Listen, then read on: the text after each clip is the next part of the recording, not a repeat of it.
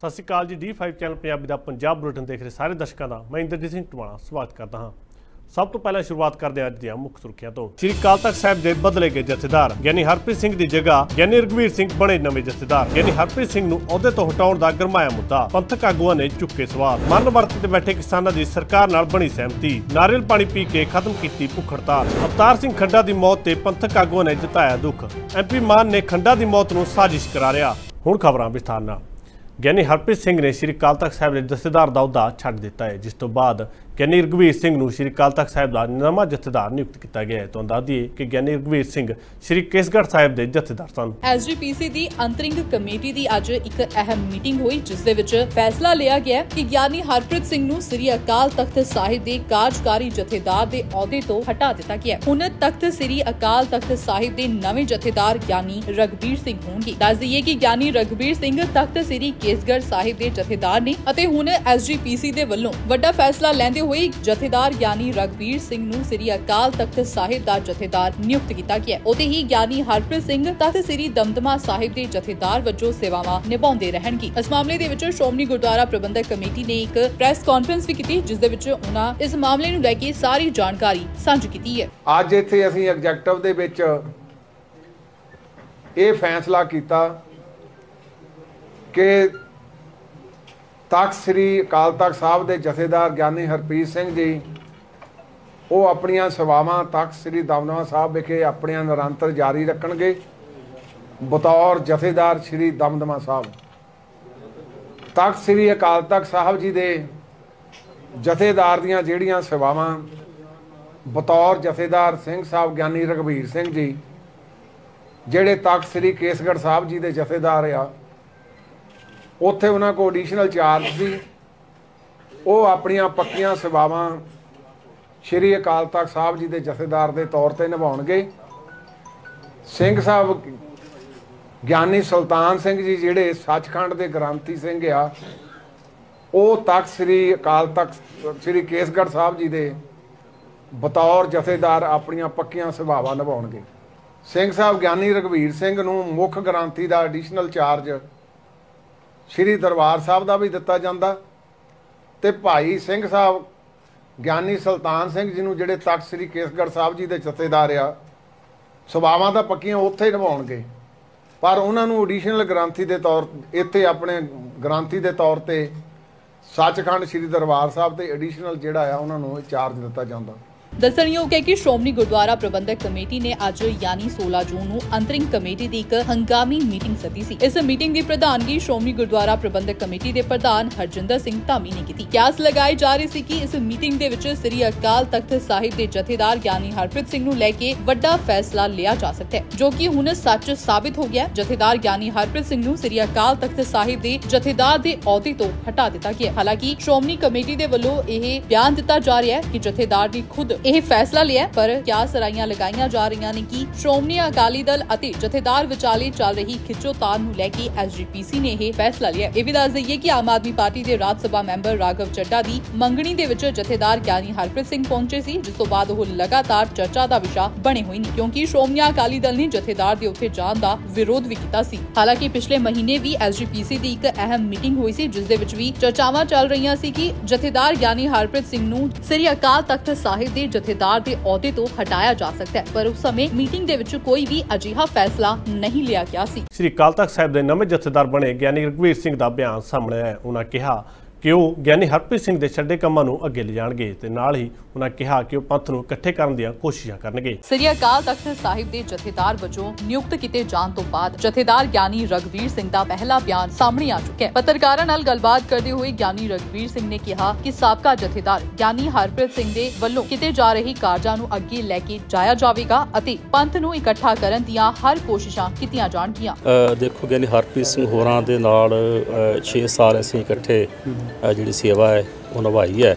ਔਰ ਜੋ ਜੋ ਕਾਰਜ ਉਹਨਾਂ ਨੇ ਆਰੰਭ ਕੀਤੇ ਨੇ, ਉਹਨਾਂ ਕਾਰਜਾਂ ਨੂੰ ਅੱਗੇ ਲਿਜਾਇਆ ਜਾਏਗਾ ਔਰ ਬੜੇ ਵਧੀਆ ਤਾਲਮੇਲ ਦੇ ਨਾਲ ਅਸੀਂ ਜਿਹੜਾ 6 ਸਾਲ ਦਾ ਅਰਸਾ ਉਹ ਬਤੀਤ ਕੀਤਾ ਅੱਗੇ ਵੀ ਅਸੀਂ ਬਹੁਤ ਪਿਆਰ ਦੇ ਨਾਲ, ਇੱਕ ਦੂਜੇ ਦੇ ਨਾਲ ਬਹੁਤ ਵਧੀਆ ਤਾਲਮੇਲ ਰਾਏ ਕਰਕੇ ਜਿਹੜੇ ਅਗਲੇ ਫੈਸਲੇ ਆ, ਉਹ ਵੀ ਕਰਨ ਦੇ ਯਤਨ ਦੇਖੋ ਰਸਤੇ ਤੁਰਦਿਆਂ ਨੂੰ ਚੁਣੌਤੀਆਂ ਜਿਹੜੀਆਂ ਆਉਣੀਆਂ ਇਹ ਸੁਭਾਵਿਕ ਨੇ ਔਰ ਕੋਸ਼ਿਸ਼ ਕਰਾਂਗੇ ਉਹ ਜਿਹੜੀਆਂ ਚੁਣੌਤੀਆਂ ਨੇ ਉਹਨਾਂ ਦਾ ਮੁਕਾਬਲਾ ਕੀਤਾ ਜਾਏ ਔਰ ਸਮੁੱਚੀਆਂ ਧਿਰਾਂ ਨੂੰ ਇੱਕ ਪਲੇਟਫਾਰਮ ਤੇ ਇਕੱਠੇ ਕਰਨ ਦਾ ਯਤਨ ਕੀਤਾ ਜਾਏ। ਉੱਥੇ ਇਸ ਮਾਮਲੇ ਦੇ ਵਿੱਚ ਹੁਣ ਹਰਿਆਣਾ ਦੇ ਪੰਥਕ ਆਗੂਆਂ ਦੀਆਂ ਪ੍ਰਤੀਕਿਰਿਆਵਾਂ ਵੀ ਸਾਹਮਣੇ ਆਉਣੀਆਂ ਸ਼ੁਰੂ ਹੋ ਗਈਆਂ ਨੇ। ਹਰਿਆਣਾ ਸਿੱਖ ਗੁਰਦੁਆਰਾ ਪ੍ਰਬੰਧਕ ਕਮੇਟੀ ਦੇ ਸਾਬਕਾ ਪ੍ਰਧਾਨ ਜਥੇਦਾਰ ਬਲਜੀਤ ਸਿੰਘ ਦਾਦੂਵਾਲ ਨੇ ਇਸ ਮਾਮਲੇ ਨੂੰ ਲੈ ਕੇ ਆਪਣੀ ਪ੍ਰਤੀਕਿਰਿਆ ਸਾਂਝੀ ਕੀਤੀ। ਵੀਡੀਓ ਜਾਰੀ ਕਰਦੇ ਹੋਏ ਜਥੇਦਾਰ ਦਾਦੂਵਾਲ ਨੇ ਕਿਹਾ ਕਿ ਕਿਸੇ ਜਥੇਦਾਰ ਦੇ ਹਟਾਏ ਦਾ ਦੁੱਖ ਨਹੀਂ ਹੈ ਅਤੇ ਕਿਸੇ ਨੂੰ ਲਗਾਉਣ ਦੀ ਖੁਸ਼ੀ ਵੀ ਨਹੀਂ ਹੈ। ਕਿਉਂਕਿ ਜਦੋਂ ਤੱਕ ਸਿਸਟਮ ਨਹੀਂ ਬਦਲਦਾ, ਜੋ ਕੌਮ ਦੀ ਚਿਰਕੋਣੀ ਮੰਗ ਹੈ ਕਿ ਜਥੇਦਾਰ ਨੂੰ ਲਾਹੁਣ ਅਤੇ ਨਿਯੁਕਤ ਕਰਨ ਦਾ ਜੋ ਵਿਧੀ ਵਿਧਾਨ ਹੈ, ਉਹ ਕਦੇ ਹੋਇਆ ਹੀ ਨਹੀਂ ਹੈ। ਅਤੇ ਇਹ ਸਾਡੀ ਬਦਕਿਸਮਤੀ ਹੈ, ਕਿਉਂਕਿ ਇੱਕ ਸਿਆਸੀ ਪਰਿਵਾਰ, ਜਿਸ ਨੂੰ ਪੰਥ ਅਤੇ ਪੰਜਾਬ ਨਕਾਰ ਚੁੱਕਿਆ ਹੈ, ਜਿੰਨਾ ਚਿਰ ਉਸਦੇ ਹੱਥ ਵਿੱਚ ਵਾਗਡੋਰ ਹੈ ਉਹਨਾਂ ਚਿਰ ਕੌਮ ਦੇ ਵਿੱਚ ਕੋਈ ਵੀ ਨਿਰਪੱਖ ਫੈਸਲਾ ਨਹੀਂ ਲਿਆ ਜਾ ਸਕਦਾ। ਸ਼੍ਰੋਮਣੀ ਗੁਰਦੁਆਰਾ ਪ੍ਰਬੰਧਕ ਕਮੇਟੀ ਦੀ ਐਗਜ਼ੈਕਟਿਵ ਦੇ ਵੱਲੋਂ ਅੱਜ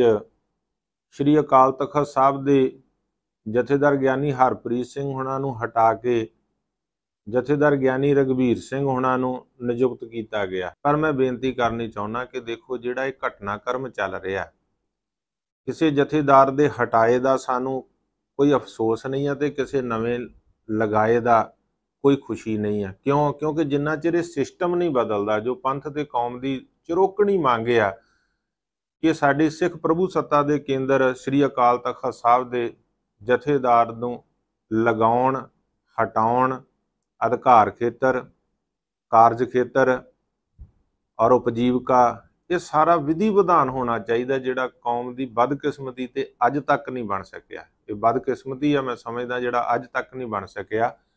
ਇੱਕ ਸਿਆਸੀ ਪਰਿਵਾਰ, ਸਰਮਾਏਦਾਰ ਪਰਿਵਾਰ, ਜਿਹਨੂੰ ਪੰਥ ਤੇ ਪੰਜਾਬ ਨਕਾਰ ਚੁੱਕਿਆ ਜਿੰਨਾ ਚਿਰ ਉਹਦੇ ਹੱਥ 'ਚ ਵਾਗਡੋਰ ਹੈ।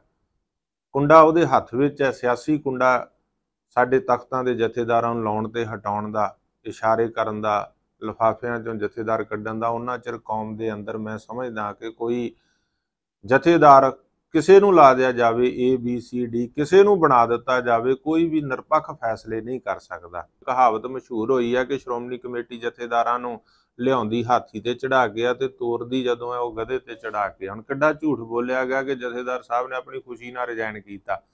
ਹੁਣ ਸਾਰੀ ਕੌਮ ਨੂੰ ਪਤਾ ਹੈ ਕਿ ਉਹਨੇ ਸਵੈ ਇੱਛਾ ਨਾਲ ਰਿਜ਼ਾਈਨ ਕੀਤਾ ਕਿ ਜਾਂ ਜ਼ਬਰਦਸਤੀ ਲਿਆ ਗਿਆ, ਜਿਵੇਂ ਪਹਿਲਾਂ ਜਥੇਦਾਰਾਂ ਤੋਂ ਲਿਆ ਜਾਂਦਾ ਸੀਗਾ। ਇੱਥੇ ਦੱਸਣਯੋਗ ਹੈ ਕਿ ਐਸਜੀਪੀਸੀ ਦੀ ਅੰਤਰਿੰਗ ਕਮੇਟੀ ਦੀ ਅੱਜ ਇੱਕ ਅਹਿਮ ਮੀਟਿੰਗ ਹੋਈ ਜਿਸ ਦੀ ਪ੍ਰਧਾਨਗੀ ਐਸਜੀਪੀਸੀ ਦੇ ਪ੍ਰਧਾਨ ਹਰਜਿੰਦਰ ਸਿੰਘ ਧਾਮੀ ਦੇ ਵੱਲੋਂ ਕੀਤੀ ਗਈ। ਇਸ ਦਰਮਿਆਨ ਉਹਨਾਂ ਨੇ ਐਲਾਨ ਕਰ ਦਿੱਤਾ ਹੈ ਕਿ ਹੁਣ ਗਿਆਨੀ ਹਰਪ੍ਰੀਤ ਸਿੰਘ ਦੀ ਜਗ੍ਹਾ ਜਥੇਦਾਰ ਗਿਆਨੀ ਰਗਵੀਰ ਸਿੰਘ ਸ੍ਰੀ ਅਕਾਲ ਤਖਤ ਸਾਹਿਬ ਦੇ ਜਥੇਦਾਰ ਹੋਣਗੇ। ਗਿਆਨੀ ਹਰਪ੍ਰੀਤ ਸਿੰਘ ਨੂੰ ਸ੍ਰੀ ਅਕਾਲ ਤਖਤ ਸਾਹਿਬ ਦੇ ਜਥੇਦਾਰ ਦੇ ਅਹੁਦੇ ਤੋਂ ਹਟਾਏ ਜਾਣ ਤੇ ਸਿਆਸਤ ਪੂਰੀ ਤਰ੍ਹਾਂ ਭੱਗ ਗਈ ਹੈ। ਸ਼੍ਰੋਮਣੀ ਗੁਰਦੁਆਰਾ ਪ੍ਰਬੰਧਕ ਕਮੇਟੀ ਦੇ ਮੈਂਬਰ ਹੀ ਪ੍ਰਧਾਨ ਹਰਜਿੰਦਰ ਧਾਮੀ ਦੇ ਫੈਸਲੇ ਤੇ ਸਵਾਲ ਚੁੱਕ ਰਹੇ ਨੇ। ਇਸੇ ਚੱਲਦੇ ਐਸਜੀਪੀਸੀ ਮੈਂਬਰ ਕਰਨੈਲ ਸਿੰਘ ਪਜੋੜੀ ਨੇ ਇਸ ਫੈਸਲੇ ਦੀ ਨਿੰਦਾ ਕੀਤੀ ਹੈ। ਗਿਆਨੀ ਹਰਪ੍ਰੀਤ ਸਿੰਘ ਨੇ ਸ੍ਰੀ ਅਕਾਲ ਤਖਤ ਸਾਹਿਬ ਦੇ ਜਥੇਦਾਰ ਦਾ ਅਹੁਦਾ ਛੱਡ ਦਿੱਤਾ। ਜਿਸ ਤੋਂ ਬਾਅਦ ਹੁਣ ਸ਼੍ਰੋਮਣੀ ਗੁਰਦੁਆਰਾ ਪ੍ਰਬੰਧਕ ਕਮੇਟੀ ਨੇ ਫੈਸਲਾ ਲੈਂਦੇ ਹੋਏ ਤਖਤ ਸ੍ਰੀ ਕੇਸਗੜ੍ਹ ਸਾਹਿਬ ਦੇ ਜਥੇਦਾਰ ਗਿਆਨੀ ਰਗਵੀਰ ਸਿੰਘ ਨੂੰ ਸ੍ਰੀ ਅਕਾਲ ਤਖਤ ਸਾਹਿਬ ਦਾ ਨਵਾਂ ਜਥੇਦਾਰ ਨਿਯੁਕਤ ਕੀਤਾ ਇਸ ਮਾਮਲੇ ਨੂੰ ਲੈ ਕੇ ਸਿਆਸਤ ਪੂਰੀ ਤਰ੍ਹਾਂ ਪੱਕ ਚੁੱਕੀ ਹੈ। ਹਾਲਾਂਕਿ ਸ਼੍ਰੋਮਣੀ ਗੁਰਦੁਆਰਾ ਪ੍ਰਬੰਧਕ ਕਮੇਟੀ ਦੇ ਵੱਲੋਂ ਹੀ ਇਹ ਸਹਿਮਤੀ ਦੇ ਨਾਲ ਫੈਸਲਾ ਲਿਆ ਗਿਆ, ਪਰ ਕਮੇਟੀ ਦੇ ਹੀ ਕੁਝ ਮੈਂਬਰ ਐਸਜੀਪੀਸੀ ਦੇ ਇਸ ਫੈਸਲੇ ਤੋਂ ਨਾ ਖੁਸ਼ ਨਜ਼ਰ ਆ ਰਹੇ ਨੇ। ਸ੍ਰੀ ਅਕਾਲ ਤਖਤ ਸਾਹਿਬ ਦੇ ਜਥੇਦਾਰ ਦੇ ਅਹੁਦੇ ਤੋਂ ਗਿਆਨੀ ਹਰਪ੍ਰੀਤ ਸਿੰਘ ਨੂੰ ਹਟਾਏ ਜਾਣ ਤੋਂ ਬਾਅਦ ਐਸਜੀਪੀਸੀ ਦੇ ਮੈਂਬਰ ਕਰਨੈਲ ਸਿੰਘ ਪੰਜੋਲੀ ਨੇ ਇਸ ਦੀ ਨਿੰਦਾ ਕੀਤੀ। ਉਹਨਾਂ ਇਲਜ਼ਾਮ ਲਗਾਏ ਕਿ ਗਿਆਨੀ ਹਰਪ੍ਰੀਤ ਸਿੰਘ ਨੂੰ ਜਥੇਦਾਰ ਦੇ ਅਹੁਦੇ ਤੋਂ ਇਸ ਲਈ ਲਾਇਆ ਜਾ ਰਿਹਾ ਹੈ ਕਿਉਂਕਿ ਉਹਨਾਂ ਨੇ ਸ਼੍ਰੋਮਣੀ ਕਮੇਟੀ ਅਤੇ ਸ਼੍ਰੋਮਣੀ ਅਕਾਲੀ ਦਲ ਵਿੱਚ ਜੋ ਕਮੀਆਂ ਆ ਰਹੀਆਂ ਸੀ ਉਸ ਨੂੰ ਲੈ ਕੇ ਆਵਾਜ਼ ਚੁੱਕੀ ਸੀ। ਦੇਖੋ ਮੈਂ ਸਮਝਦਾ ਕਿ ਸ੍ਰੀ ਅਕਾਲ ਤਖਤ ਸਾਹਿਬ ਪੂਰੀ ਸਿੱਖ ਕੌਮ ਦੇ ਜਜ਼ਬਾਤਾਂ ਦੀ ਤਰਜਮਾਨੀ ਕਰਦੀ ਹੈ। ਜੀ। ਉਹਦਾ ਜਥੇਦਾਰ ਜਿਹੜਾ ਹੈ ਉਹ ਕੋਈ ਸ਼੍ਰੋਮਣੀ ਗੁਰਦੁਆਰਾ ਪ੍ਰਬੰਧਕ ਕਮੇਟੀ ਦਾ ਮੁਲਾਜ਼ਮ ਨਹੀਂ ਹੂੰ। ਜਿਸ ਕਿਸਮ ਦਾ ਵਿਵਹਾਰ ਪਿਛਲੇ ਲੰਮੇ ਸਮੇਂ ਤੋਂ ਸ਼੍ਰੋਮਣੀ ਗੁਰਦੁਆਰਾ ਪ੍ਰਬੰਧਕ ਕਮੇਟੀ ਜਥੇਦਾਰ ਨਾਲ ਕਰ ਰਹੀ ਹੈ ਇਹ ਵਿਵਹਾਰ ਬਹੁਤ ਹੀ ਮੰਦਭਾਗਾ ਤੇ ਬਹੁਤ ਹੀ ਮਾੜਾ ਹੈ। ਜੀ। ਤੇ ਮੈਂ ਸਮਝਦਾ ਕਿ ਜਥੇਦਾਰ ਸਾਹਿਬ ਨੂੰ ਸਿਰਫ ਇਸ ਕਰਕੇ ਲਾਇਆ ਗਿਆ ਜੀ। ਕਿ ਉਹਨੇ ਸਮੇਂ-ਸਮੇਂ ਸ਼੍ਰੋਮਣੀ ਗੁਰਦੁਆਰਾ ਪ੍ਰਬੰਧਕ ਕਮੇਟੀ ਅਤੇ। ਸ਼੍ਰੋਮਣੀ ਅਕਾਲੀ ਦਲ ਵਿੱਚ ਜਿਹੜਾ ਨਕਾਰ ਆ ਰਿਹਾ ਹੈ ਤਾਂ ਜ- ਜਾਂ ਲੀਡਰਸ਼ਿਪ ਦੇ ਵਿੱਚ ਜਿਹੜੀਆਂ ਕੁਰੈਤੀਆਂ ਨੇ ਉਹਨਾਂ ਦੇ ਸੰਬੰਧੀ ਉਹਨਾਂ ਨੇ ਆਪਣੀ ਆਵਾਜ਼ ਬੁਲੰਦ ਕੀਤੀ। ਦੂਜਾ ਵੱਡਾ ਇੱਕ ਕਾਰਨ ਸੀ ਕਿ ਉਹਨਾਂ ਨੇ ਪਿਛਲੇ ਦਿਨੀ ਇੱਕ ਸੱਦਾ ਦਿੱਤਾ ਸੀ ਕਿ ਸਾਰੇ ਅਕਾਲੀ ਦਲ ਇੱਕ ਪਲੇਟਫਾਰਮ ਤੇ ਇਕੱਠੇ ਹੋਣ ਪੂਰੀ ਕੌਮ ਦੀ ਏਕਤਾ ਹੋਵੇ। ਜੀ। ਸਰਦਾਰ ਸੁਖਬੀਰ ਸਿੰਘ ਬਾਦਲ ਨੂੰ ਇਹ ਗੱਲਾਂ ਪਸੰਦ ਨਹੀਂ ਹਨ। ਇਸ ਕਰਕੇ ਮੈਂ ਇਹ ਸਮਝਦਾ ਕਿ ਜਥੇਦਾਰ ਨੂੰ ਲਾਉਣ ਦਾ ਜਿਹੜਾ ਮਤਲਬ ਹੈ ਹੂੰ। ਉਹ ਸੁਖਬੀਰ ਸਿੰਘ ਬਾਦਲ ਨੇ ਆਪਣੀ ਲੀਡਰਸ਼ਿਪ ਨੂੰ ਬਚਾਉਣ ਦੇ ਲਈ ਤੇ ਆਪਣੇ ਧੜੇ ਨੂੰ ਕਾਇਮ ਰੱਖਣ ਲਈ ਸ਼੍ਰੋਮਣੀ ਕਮੇਟੀ ਦੇ ਨਜਾਇਜ਼ ਕਬਜ਼ਾ ਰੱਖਣ ਲਈ ਇਹ ਖੇਡ ਖੇਡੀ ਹੈ। ਇਸ ਦੇ ਨਾਲ ਹੀ ਐਸਜੀਪੀਸੀ ਦੀ ਸਾਬਕਾ ਪ੍ਰਧਾਨ ਬੀਬੀ ਜਗੀਰ ਕੌਰ ਨੇ ਵੀ ਇਸ ਮਸਲੇ ਤੇ ਪ੍ਰਤੀਕਿਰਿਆ ਦਿੰਦੇ ਹੋਏ ਕਿਹਾ ਕਿ ਅਫਸੋਸ ਦੀ ਗੱਲ ਹੈ ਕਿ ਜਥੇਦਾਰ ਅਤੇ ਸ਼੍ਰੋਮਣੀ ਅਕਾਲੀ ਦਲ ਲਈ ਫੈਸਲਾ ਲੈਣ ਵਾਲਾ ਇੱਕੋ ਇਨਸਾਨ ਹੈ। ਸਭ ਤੋਂ ਪਹਿਲਾਂ ਤਾਂ ਮੈਂ ਕਹਿਣਾ ਚਾਹੁੰਦੀ ਹਾਂ ਕਿ ਗਿਆਨੀ ਹਰਪ੍ਰੀਤ ਸਿੰਘ ਜੀ ਨੇ ਬਹੁਤ ਲੰਬਾ ਸਮਾਂ ਤੇ ਬੜੀ ਵਧੀਆ ਢੰਗ ਦੇ ਨਾਲ ਆਪਣੀ ਸੇਵਾ ਨਿਭਾਈ ਹੈ। ਜੀ। ਔਰ ਜਦੋਂ ਕਿਤੇ ਪੰਥ ਦੇ ਮਸਲਿਆਂ ਦੀ ਵੀ ਗੱਲ ਆਈ ਹੈ ਡਟ ਕੇ ਪਹਿਰੇਦਾਰੀ ਵੀ ਕੀਤੀ ਹੈ ਤੇ ਡਟ ਕੇ ਬੋਲੇ ਵੀ ਹੈ। ਜੀ। ਜੇ ਕਿਤੇ ਕਿਸੇ ਨੂੰ ਤਾੜਨਾ ਕਰਨ ਦੀ ਵੀ ਗੱਲ ਆਈ ਹੈ ਤੇ ਉਹ ਵੀ ਉਹਨਾਂ ਨੇ ਕਿਹਾ। ਜੇ ਕਿਤੇ ਸਾਡੀ ਪੰਥਕ ਜਮਾਤ ਜਿਹੜੀ ਕਹਿੰਦੀ ਸ਼੍ਰੋਮਣੀ ਅਕਾਲੀ ਦਲ ਹੈ ਉਹਦੇ ਵਿੱਚ ਵੀ ਕਮੀ ਆਈ ਹੈ ਤੇ ਉਹਨਾਂ ਵਾਸਤੇ ਵੀ ਉਹ ਤਾੜਨਾ ਹਮੇਸ਼ਾ ਕਰਦੇ ਰਹੇ ਹੈ। ਜੀ। ਤੇ ਚਲੋ ਮੈਂ ਸਮਝਦੀ ਹਾਂ ਕਿ ਉਹਨਾਂ ਦੀ ਸੇਵਾ ਨੂੰ ਆਪਾਂ ਨਹੀਂ ਕਹਿ ਸਕਦੇ ਕੁਝ ਵੀ। ਤੇ ਜਦੋਂ ਕਿਸੇ ਨੂੰ ਚੇਂਜ ਕਰਨਾ ਹੋਵੇ ਪਹਿਲਾਂ ਉਹਨਾਂ ਨਾਲ ਸਲਾਹ ਕਰ ਲੈਣੀ ਚਾਹੀਦੀ ਹੈ ਭਾਵੇਂ ਜੇ ਉਹਨੇ ਗੁਰਮਤ ਦਾ ਕਾਣ ਨਾ ਕੀਤਾ ਹੋਵੇ। ਜੇ ਗੁਰਮਤ ਦਾ ਕਾਣ ਕੀਤਾ ਹੋਵੇ ਮਰਿਆਦਾ ਦੇ ਉਲਟ ਕੀਤਾ ਹੋਵੇ ਫਿਰ ਬੰਦਾ ਸੋਚਦਾ ਕਿ ਇਹਨੂੰ ਚੇਂਜ ਕਰੀਏ। ਪਰ ਅਫਸੋਸ ਹੈ ਕਿ ਇਹ ਸਾਰਾ ਜਿਹੜਾ ਇਹਨਾਂ ਦੇ ਖਿਲਾਫ ਤਾਣਾ ਬਾਣਾ ਬੁਣਨ ਵਾਲਾ ਜਾਂ ਅੱਜ ਸ਼੍ਰੋਮਣੀ ਅਕਾਲੀ ਦਲ ਦੇ ਤੇ ਜਥੇਦਾਰਾਂ ਦੇ ਫੈਸਲੇ ਲੈਣ ਵਾਲਾ ਇੱਕ ਮਨੁੱਖ ਹੈ ਪਾਰਟੀ ਦੇ ਵਿੱਚ ਜੀ। ਅਕਾਲੀ ਦਲ ਦੇ ਜਿਹਨੇ ਆਵਾਜ਼ ਉਠਾ ਕੇ ਤੇ ਅੱਜ ਅਕਾਲੀ ਦਲ ਤੇ ਸ਼੍ਰੋਮਣੀ ਕਮੇਟੀ ਦੀ ਇੱਕ ਮੁਸੀਬਤ ਬਣਾ ਦਿੱਤੀ ਹੈ ਕਿ ਉਹਨਾਂ ਨੂੰ ਅਕਾਲ ਤਖਤ ਦੇ ਜਥੇਦਾਰ ਬਦਲਣਾ ਹੀ ਪਏਗਾ। ਪਰ ਮੈਨੂੰ ਦੁੱਖ ਹੈ ਇਸ ਗੱਲ ਦਾ ਕਿ ਇੱਕ ਸਿਆਸੀ ਬੰਦਿਆਂ ਦੇ ਉੱਤੇ ਜ਼ੋਰ ਪਾਉਣ ਦੇ ਉੱਤੇ ਜਦੋਂ ਬਦਲੀ ਹੈ ਉਹ ਗਲਤ ਹੈ। ਦੱਸਣਯੋਗ ਹੈ ਕਿ ਆਮ ਆਦਮੀ ਪਾਰਟੀ ਦੇ ਰਾਜ ਸਭਾ ਮੈਂਬਰ ਰਾਘਵ ਚੱਡਾ ਦੀ ਮੰਗਣੀ ਤੇ ਜਾਣ ਤੋਂ ਬਾਅਦ ਜਥੇਦਾਰ ਗਿਆਨੀ ਹਰਪ੍ਰੀਤ ਸਿੰਘ ਚਰਚਾ ਦੇ ਵਿੱਚ ਆਏ ਅਤੇ ਉਸ ਸਮਾਗਮ ਦੇ ਵਿੱਚ ਜਾਣ ਤੋਂ ਬਾਅਦ ਸ਼੍ਰੋਮਣੀ ਅਕਾਲੀ ਦਲ ਦੇ ਵੱਲੋਂ ਵੀ ਇਸ ਦਾ ਵਿਰੋਧ ਕੀਤਾ ਗਿਆ ਸੀ। ਮੀਡੀਆ ਰਿਪੋਰਟਾਂ ਦੇ ਵਿੱਚ ਹੁਣ ਇਹੀ ਚਰਚਾਵਾਂ ਚੱਲ ਰਹੀਆਂ ਨੇ ਕਿ ਰਾਘਵ ਚੱਡਾ ਦੀ ਮੰਗਣੀ ਦੇ ਵਿੱਚ ਜਾਣ ਕਾਰਨ ਗਿਆਨੀ ਹਰਪ੍ਰੀਤ ਸਿੰਘ ਨੂੰ ਸ੍ਰੀ ਅਕਾਲ ਤਖਤ ਸਾਹਿਬ ਦੇ ਜਥੇਦਾਰ ਦੇ ਅਹੁਦੇ ਤੋਂ ਹਟਾਇਆ ਗਿਆ। ਪਿਛਲੇ ਕਈ ਦਿਨਾਂ ਤੋਂ ਸਰਕਾਰ ਲਈ ਚਿੰਤਾ ਦਾ ਵਿਸ਼ਾ ਬਣੇ ਹੋਏ ਸੰਯੁਕਤ ਕਿਸਾਨ ਮੋਰਚੇ ਦੇ ਆਗੂਆਂ ਦਾ ਮਨ ਵਰਤ ਉਸ ਸਮੇਂ ਟੁੱਟਿਆ ਜਦੋਂ ਪੀਐਸਪੀਸੀਐਲ ਤੇ ਪੁਲਿਸ ਪ੍ਰਸ਼ਾਸਨ ਨਾਲ ਉਹਨਾਂ ਦੀ ਮੰਗਾਂ ਨੂੰ ਲੈ ਕੇ ਸਹਿਮਤੀ ਬਣ ਗਈ। ਇਸ ਦੇ ਚੱਲਦੇ ਉਹਨਾਂ ਨਾਰੀਅਲ ਪਾਣੀ ਪੀ ਕੇ ਆਪਣਾ ਮਰਨ ਵਰਤ ਤੋੜਿਆ। ਸੰਯੁਕਤ ਕਿਸਾਨ ਮੋਰਚਾ ਗੈਰ ਰਾਜਨੀਤਿਕ ਨੇ ਕਿਸਾਨਾਂ ਦੀਆਂ ਮੰਗਾਂ ਮਨਵਾਉਣ ਦੇ ਲਈ ਪਟਿਆਲਾ ਵਿਖੇ ਪਿਛਲੇ ਤਕਰੀਬਨ 8 ਤੋਂ 9 ਦਿਨਾਂ ਤੋਂ ਚੱਲ ਰਿਹਾ ਮਰਨ ਵਰਤ ਖਤਮ ਕਰਤਾ ਹੈ, ਕਿਉਂਕਿ ਸਰਕਾਰ ਅਤੇ ਕਿਸਾਨਾਂ ਵਿਚਾਲੇ ਲਗਭਗ 1 ਦਰਜਨ ਮੰਗਾਂ ਤੇ ਸਹਿਮਤੀ ਬਣ ਗਈ ਹੈ ਅਤੇ ਸਹਿਮਤੀ ਬਣਨ ਤੋਂ ਬਾਅਦ ਵੀਰਵਾਰ ਦੇਰ ਸ਼ਾਮ ਕਿਸਾਨਾਂ ਨੇ ਨਾਰੀਅਲ ਪਾਣੀ ਪੀ ਕੇ ਮਰਨ ਵਰਤ ਖਤਮ ਕੀਤਾ। ਸੋ ਜਿਹੜਾ ਸਾਡਾ 8 ਤਰੀਕ ਤੋਂ ਆਪਣੇ ਪਾਵਰਕਾਮ ਨੂੰ ਅਸੀਂ ਜਿਹੜਾ ਉੱਥੇ ਧਰਨਾ ਦਿੱਤਾ ਸੀ ਜਾਓ ਉਹਤੇ ਜਿਹੜਾ ਉਦਣ ਤੋਂ ਹੀ ਸਾਡੇ ਆਗੂ ਸਾਹਿਬਾਨਾਂ ਨੇ ਜਗਜੀਤ ਸਿੰਘ ਡੱਲੇਵਾਲ ਸਾਹਿਬ ਔਰ ਸੁਖਦੇਵ ਸਿੰਘ ਭੋਜਰਾਜ ਜੀ ਕੁਲਵਿੰਦਰ ਸਿੰਘ ਪਜੋਲਾ ਸਾਹਿਬ ਸੁਖਜੀਤ ਸਿੰਘ ਹਰਦੋ ਚੱਡੇ ਸਾਹਿਬ ਔਰ ਤਰਸੇਮ ਸਿੰਘ ਗਿੱਲ ਚਾਟੀ ਪਿੰਡ ਜਿਨ੍ਹਾਂ ਨੇ ਅੱਜ ਤੱਕ ਇਹ ਲਾ ਲਓ ਵੀ 8 ਦਿਨ ਤੋਂ ਖਾਣਾ ਪੀਣਾ ਛੱਡਿਆ ਜੀ, ਮਰਨ ਵਰਤ ਤੇ ਬੈਠੇ ਸੀ ਔਰ ਅੱਜ ਉਹਨਾਂ ਨੇ ਪਾਣੀ ਵੀ ਛੱਡਤਾ ਸੀ। ਮੈਂ ਇਹ ਕਹੂੰਗਾ ਵੀ ਜਿਹੜੇ ਸਾਡੇ ਬਹੁਤ, ਮਤਲਬ mini government Jaskaran Singh ADGP sahib ਔਰ ਆਲਮ ਸਿੰਘ ਏਆਈਜੀ ਪਟਿਆਲਾ ਤੇ ਰਤਨ ਬਰਾੜ ਰਤਨ ਸਿੰਘ ਬਰਾੜ ਲੁਧਿਆਣੇ ਏਆਈਜੀ ਔਰ ਸੰਜੀਵ ਜੋਸ਼ੀ ਜਿਹੜੇ DSP CID Charanpal Singh DSP ਸੋ ਸ਼ੀਨਾ ਸਾਹਿਬ ਬੈਠੇ ਨੇ ਆਈਜੀ ਆਪਣੇ ਪਟਿਆਲਾ ਰੇਂਜ ਦੇ। ਸੋ ਇਹਨਾਂ ਦੇ ਮਤਲਬ ਕਹਿਣ ਤੋਂ ਭਾਵ ਇਹਨਾਂ ਦੇ ਜਰੀਏ ਜੋ ਵੀ ਸਰਕਾਰ ਨਾਲ ਗੱਲਬਾਤ ਕੀਤੀ ਮੈਂ ਮੰਨਦਾ ਅੱਜ ਸੰਯੁਕਤ ਕਿਸਾਨ ਮੋਰਚਾ ਗੈਰ ਰਾਜਨੀਤਿਕ ਜਿੱਥੇ ਪੰਜਾਬ ਦੇ। ਔਰ ਕਿਸਾਨੀ ਦੀ ਹੱਕ ਦੀ ਗੱਲ ਆ, ਕਿਉਂਕਿ ਜਿੰਨੇ ਵੀ ਵਰਗ ਰਹਿੰਦੇ ਨੇ ਉਹਨਾਂ ਦੀ ਲੜਾਈ ਲੜੀ ਉਹਦੇ ਵਿੱਚ ਅੱਜ ਵੱਡੀ ਸਫਲਤਾ ਪ੍ਰਾਪਤ ਕੀਤੀ ਆ। ਜਗਜੀਤ ਦੱਲੇਵਾਲ ਜਿਹੜਾ ਕਿ ਐਸਕੇਐਮ ਨਾਨ ਪੋਲੀਟੀਕਲ ਸੀਗਾ ਇਹਨਾਂ ਦੀ ਆਰਗੇਨਾਈਜੇਸ਼ਨ ਨੇ 8 ਤਰੀਕ ਨੂੰ ਕੁਝ ਜਿਹੜੀ ਪਾਵਰਕੌਮ ਦੀਆਂ ਜਿਹੜੇ ਆ ਮਸਲਿਆਂ ਦੇ ਉੱਤੇ ਇੱਕ ਇੱਥੇ ਧਰਨਾ ਦਿੱਤਾ ਸੀਗਾ।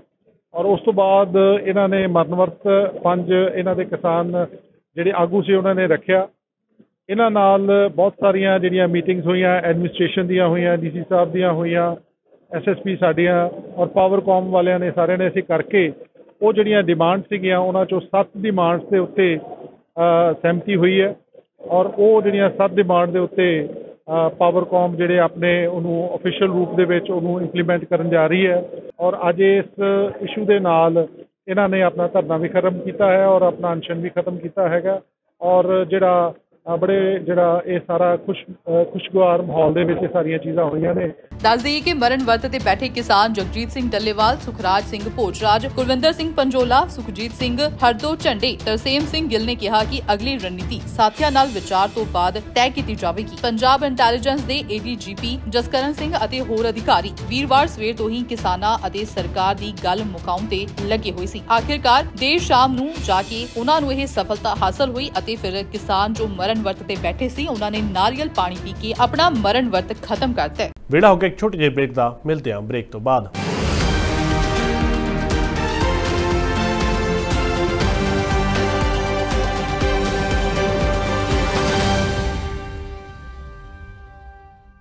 ਸਤਿ ਸ਼੍ਰੀ ਅਕਾਲ ਜੀ ਮੈਂ ਹਾਂ ਕੁਲਰਾਜ ਰੰਧਾਵਾ ਤੇ ਤੁਸੀਂ ਵੇਖ ਰਹੇ ਹੋ D5 ਚੈਨਲ ਪੰਜਾਬੀ ਜਿਹੜਾ ਲਾਂਚ ਹੋ ਚੁੱਕਾ ਹੈ ਹੁਣ ਕੈਨੇਡਾ ਵਿੱਚ।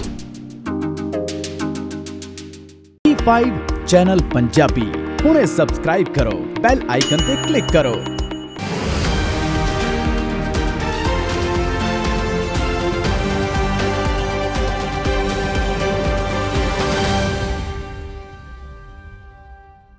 ਬ੍ਰੇਕ ਤੋਂ ਬਾਅਦ ਸਾਰਿਆਂ ਦਾ ਇੱਕ ਵਾਰ ਫਿਰ ਸਵਾਗਤ ਹੈ ਬਾਅਦ ਹਾਂ ਅਗਲੀ ਖਬਰ ਵੱਲ ਬੀਤੇ ਕੱਲ ਪਿਪਰਜੋਏ ਨਾਮ ਦੇ ਤੂਫਾਨ ਨੇ ਗੁਜਰਾਤ ਦੇ ਕਈ ਇਲਾਕਿਆਂ ਵਿੱਚ ਭਾਰੀ ਤਬਾਹੀ ਮਚਾਈ ਹੈ। ਬੀਤੇ ਦਿਨ ਗੁਜਰਾਤ ਦੇ ਕੱਛ ਵਿੱਚ ਦਸਤਕ ਦੇਣ ਤੋਂ ਬਾਅਦ ਇਸ ਚੱਕਰਵਾਤੀ ਤੂਫਾਨ ਨੇ ਤੇਜ਼ ਹਵਾਵਾਂ ਨਾਲ ਗੁਜਰਾਤ ਦੇ ਕਈ ਇਲਾਕਿਆਂ ਵਿੱਚ ਤਬਾਹੀ ਮਚਾਈ, ਜਿਸ ਤੋਂ ਬਾਅਦ ਜਨਜੀਵਨ ਪੂਰੀ ਤਰ੍ਹਾਂ ਅਸਤ-ਵਿਅਸਤ ਹੋ ਗਿਆ ਹੈ। ਅਰਬ ਸਾਗਰ ਤੋਂ ਉੱਠਿਆ ਚੱਕਰਵਰਤੀ ਤੂਫਾਨ ਬਿਪਰਜੋਏ ਬੀਤੀ ਕੱਲ ਸ਼ਾਮ ਗੁਜਰਾਤ ਦੇ ਕਿਨਾਰੇ ਨਾਲ ਟਕਰਾ ਗਿਆ ਅਤੇ ਗੁਜਰਾਤ ਦੇ ਵਿੱਚ ਤਬਾਹੀ ਮਚਾਉਣ ਤੋਂ ਬਾਅਦ ਹੁਣ ਇਹ ਤੂਫਾਨ ਰਾਜਸਥਾਨ ਦੇ ਵੱਲ ਵੱਧ ਰਹੀ ਹੈ, ਜਿਸ ਕਾਰਨ ਇਸ ਦਾ ਅਸਰ ਪੰਜਾਬ ਦੇ ਵਿੱਚ ਵੀ ਪੈ ਸਕਦਾ ਹੈ। ਮੌਸਮ ਵਿਭਾਗ ਦੀ ਭਵਿੱਖਬਾਣੀ ਅਨੁਸਾਰ ਚੱਕਰਵਾਤ, ਬਿਪਰਜੋਏ, ਦਿੱਲੀ ਅਤੇ ਚਾਰ ਹੋਰ ਰਾਜਾਂ ਵਿੱਚ ਬਾਰਿਸ਼ ਲਿਆਉਣ ਜਾ ਰਹੀ ਹੈ। ਮੌਸਮ ਵਿਭਾਗ ਮੁਤਾਬਿਕ ਚੱਕਰਵਾਤ ਕਾਰਨ ਰਾਜਸਥਾਨ, ਪੰਜਾਬ, ਹਰਿਆਣਾ, ਨਵੀਂ ਦਿੱਲੀ ਅਤੇ ਉੱਤਰ ਪ੍ਰਦੇਸ਼ ਦੇ ਵਿੱਚ ਅਗਲੇ 4 ਦਿਨਾਂ ਦੇ ਵਿੱਚ ਮੀਂਹ ਪਵੇਗਾ। ਇਸ ਮਾਮਲੇ ਨੂੰ ਲੈ ਕੇ ਜਦੋਂ ਮੌਸਮ ਵਿਗਿਆਨੀ ਡਾਕਟਰ ਮਨਮੋਹਨ ਸਿੰਘ ਨਾਲ ਗੱਲਬਾਤ ਕੀਤੀ ਗਈ ਤਾਂ ਉਹਨਾਂ ਨੇ ਮੌਸਮ ਨੂੰ ਲੈ ਕੇ ਕੀ ਜਾਣਕਾਰੀ ਸਾਂਝੀ ਕੀਤੀ ਹੈ, ਆਓ ਜਾਣਦੇ ਹਾਂ। ਹਾਂਜੀ, ਬਿਲਕੁਲ ਜੋ ਆ ਜੋ ਪੰਜਾਬ ਦੀ ਸਥਿਤੀ ਹੈ, ਇਸ ਦੇ ਵਿੱਚ ਅਸੀਂ ਜੋ ਫੋਰਕਾਸਟ ਦਿੱਤੀ ਹੈ, ਅੱਜ ਆਈਸੋਲੇਟਡ ਇੱਕ ਦੋ ਜਗ੍ਹਾ ਤੇ ਬਾਰਿਸ਼ ਹੋਣ ਦੇ ਚਾਂਸਸ ਹੈ, ਲੇਕਿਨ ਕੱਲ ਤੋਂ ਜਿਹੜੀ ਬਾਰਿਸ਼ ਥੋੜੀ ਜਿਹੀ ਵੱਧ ਸਕਦੀ ਹੈ। ਸਕੈਟਰਡ ਪਲੇਸਸ ਤੇ ਮਤਲਬ ਫਿਊ ਪਲੇਸਸ ਤੇ ਬਾਰਿਸ਼ ਹੋਣ ਦੇ ਚਾਂਸਸ ਹੈ 17 17 18 19 ਤੇ 20 ਤਰੀਕ ਨੂੰ ਜਿਹੜੀ ਬਾਰਿਸ਼ ਹੈ ਉਹ ਸਕੈਟਰਡ ਪਲੇਸਸ ਤੇ ਹੋ ਸਕਦੀ ਹੈ ਇਹਦੇ ਲਈ ਅਸੀਂ ਵਾਰਨਿੰਗ ਵੀ ਇਸ਼ੂ ਕੀਤੀ ਹੋਈ ਹੈ ਵਾਰਨਿੰਗ ਜਿਹੜੀ ਯੈਲੋ ਕਲਰ ਦੀ ਵਾਰਨਿੰਗ ਹੈ ਜਿਹਦੇ ਵਿੱਚ ਕਿ ਜਿਹੜੇ ਲੋਕੀ ਹੈ, ਉਹ ਅਪਡੇਟ ਰਹਿਣ। ਉਹਦੇ ਲਈ ਅਸੀਂ ਜਿਹੜੀ ਵਾਰਨਿੰਗ ਦਿੱਤੀ ਹੋਈ ਹੈ ਉਹ ਥੰਡਰ ਐਕਟੀਵਿਟੀ ਦੇ ਨਾਲ ਲਾਈਟਨਿੰਗ ਤੇ ਤੇਜ਼ ਹਵਾ ਚੱਲਣ ਦੀ ਪ੍ਰੋਬੈਬਿਲਿਟੀ ਹੈ ਜਿਹੜੀ ਤੇਜ਼ ਹਵਾ ਹੈ, ਉਹ 30 ਤੋਂ ਲੈ ਕੇ 40 ਕਿਲੋਮੀਟਰ ਪ੍ਰਤੀ ਘੰਟਾ ਦੀ ਰਫ਼ਤਾਰ ਨਾਲ ਕੁਝ ਇੱਕ ਜਗ੍ਹਾ ਤੇ ਹਵਾ ਚੱਲ ਸਕਦੀ ਆਪਣੇ ਸਾਈਕਲੋਨ ਹੈ ਜੋ ਕਿ ਆਪਣੇ ਗੁਜਰਾਤ ਏਰੀਆ ਨੂੰ ਟੱਚ ਕਰ ਚੁੱਕਿਆ ਹੈ। ਇਹਦੇ ਲਈ ਵੀ ਕਾਫੀ ਜਿਹੜੇ ਹੈਗੇ ਲੋਕਾਂ ਦੇ ਵਿੱਚ ਦਹਿਸ਼ਤ ਹੈ। ਪੰਜਾਬ ਦੇ ਲੋਕਾਂ ਨੂੰ ਇਸ ਤੋਂ ਡਰਨ ਦੀ ਜ਼ਰੂਰਤ ਨਹੀਂ ਹੈ ਕਿਉਂਕਿ ਜਦੋਂ ਤੱਕ ਇਹ ਆਪਣੇ ਏਰੀਆ ਵਿੱਚ ਪਹੁੰਚੇਗਾ ਤੇ ਇਹ ਕਾਫੀ ਕਮਜ਼ੋਰ ਹੋ ਚੁੱਕਾ ਹੋਵੇਗਾ। ਇਹਦੇ ਨਾਲ ਕੋਈ ਜ਼ਿਆਦਾ ਕੋਈ ਵੱਡਾ ਅਸਰ ਨਹੀਂ ਹੋਏਗਾ ਜਿਹੜੀ ਇਹਦੀ ਰਫ਼ਤਾਰ ਆ ਉਹ ਘਟ ਜਾਏਗੀ। ਹੁਣ ਵੀ ਜਿਹੜੀ ਇਹਦੀ ਰਫ਼ਤਾਰ ਆ, ਜਿਹੜੀ ਉਹ ਘਟ ਚੁੱਕੀ ਹੈ ਜਿਹੜੇ ਸਾਈਕਲੋਨ ਜੋ ਵੀ ਆਪਣੇ ਫਾਰਮ ਹੁੰਦੇ ਆ, ਸਮੁੰਦਰਾਂ ਦੇ ਉੱਤੇ ਫਾਰਮ ਹੁੰਦੇ ਆ, ਲੇਕਿਨ ਜਦੋਂ ਇਹ ਜ਼ਮੀਨ ਤੇ ਲੈਂਡ ਕਰਦੇ ਆ ਤੇ ਇਹਨਾਂ ਦੀ ਜਿਹੜੀ ਰਫ਼ਤਾਰ ਆ, ਉਹ ਘਟ ਜਾਂਦੀ ਆ। ਹੁਣ ਵੀ ਜਿਹੜਾ ਇਹ ਪਹਿਲਾਂ ਸੀਵਰ ਸਾਈਕਲੋਨ ਸੀਗਾ ਤੇ ਉਹ ਹੁਣ ਸਾਈਕਲੋਨ ਰਹਿ ਗਿਆ ਜੀ, ਕਿਉਂਕਿ ਜਿਹੜੀ ਤੀਵਰਤਾ ਉਹ ਘਟ ਗਈ ਹੈ। ਤੇ ਜਿੱਦਾਂ ਜਿੱਦਾਂ ਇਹ ਅੱਗੇ ਮੂਵ ਕਰੇਗਾ, ਇਹ ਪਹਿਲੇ ਰਾਜਸਥਾਨ ਤੇ ਉਸ ਤੋਂ ਬਾਅਦ ਜਿਹੜਾ ਹੈਗਾ ਆਪਣੇ ਐਮਪੀ ਦੇ ਉੱਪਰ ਜਾਂ ਹਰਿਆਣਾ ਦੇ ਜੋ ਸਾਊਥ ਵਾਲੇ ਇਲਾਕਿਆਂ ਤੇ ਜਿਹੜਾ ਪਹੁੰਚੇਗਾ, ਤਾਂ ਇਹਦੀ ਰਫ਼ਤਾਰ ਘਟੇਗੀ। ਇਹਦਾ ਜਿਹੜਾ ਇਫੈਕਟ ਆ ਪੰਜਾਬ ਦੇ ਵਿੱਚ ਬਹੁਤ ਘੱਟ ਦੇਖਣ ਨੂੰ ਮਿਲੇਗਾ।